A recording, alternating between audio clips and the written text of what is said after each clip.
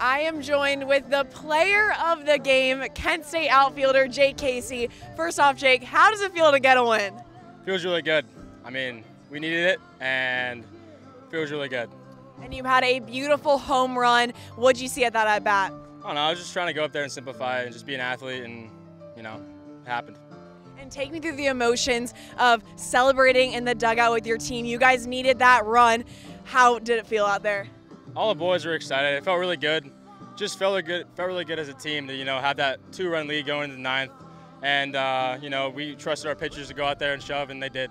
And speaking of pitchers, Dylan Jacobs did a great job putting you guys in a very strong start. So how important is those strong starts? Huge. I mean, DJ did a really good job today.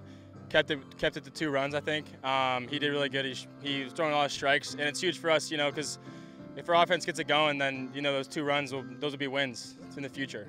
And in the past few games, the offense as a whole has been struggling, but today seemed like a breakthrough. What do you think those adjustments were like? I don't know. I think we just we don't want to press, and everyone knows how good they are individually, and we all know how good we are as a group. And we just we just gotta we just keep saying keep going, keep having fun, and that's what we did today. Well, thank you so much.